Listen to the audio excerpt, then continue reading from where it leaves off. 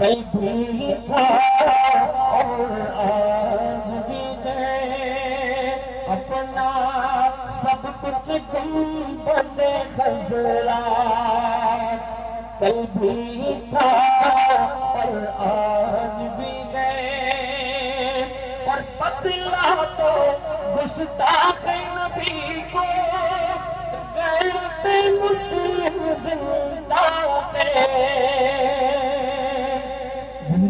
ہاتھ اٹھا کر جواب دے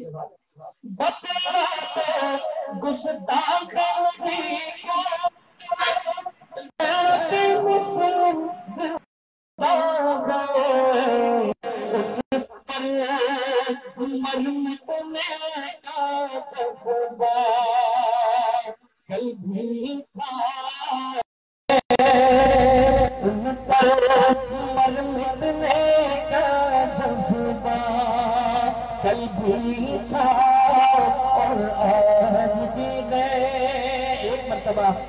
ساتھ مل کر پڑھے لب پر ناتے پاک کا نغمہ۔ کل بھی تھا اور آج بھی ہے۔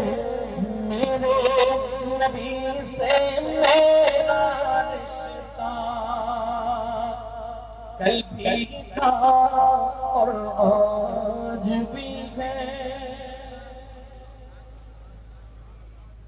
سلمان طارق صاحب، جزاک اللہ۔ آپ نے آج پھر ایک مرتبہ پھر یہاں پر اجتماع کے اندر ایک روح پرور سما باندھ دیا ہے۔ اللہ تعالیٰ آپ کو جزائے خیر دے۔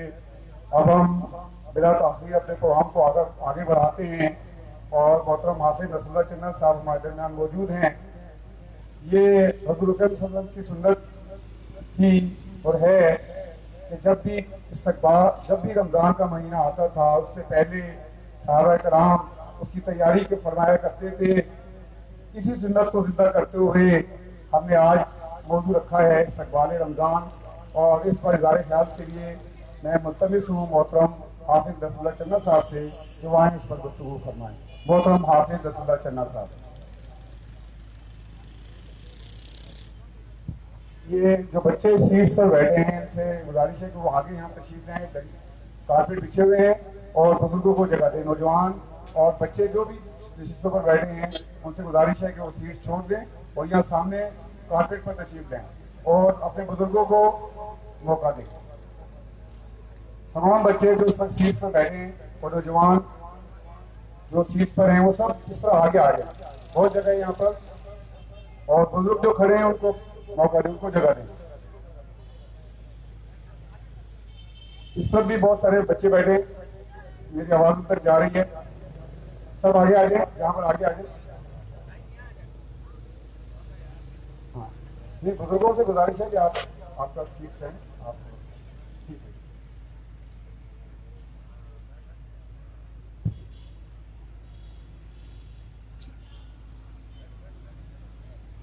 الحمد لله وحده وحده وحده لا شريك له. والصلاة والسلام على من لا نبي بعده. لا نبي بعده ولا رسول بعده. أعوذ بالله من الشيطان الرجيم. بسم الله الرحمن الرحيم. شهر رمضان الذي أنزل فيه القرآن هدى للناس. هدى للناس. وبينات من الهدى والفرقان فمن شهد منكم الشهر فليصم وقال الله تعالى عليه وسلموا تسليما اللهم صل على محمد وعلى آل محمد. كما صليت على إبراهيم وعلى آل إبراهيم إنك حميد مجيد. هو الحبيب الذي ترجى شفاعته لكل هول من الأهوال مقتحمين انتهي واجب الاحترام مدد الرحمان صاحب.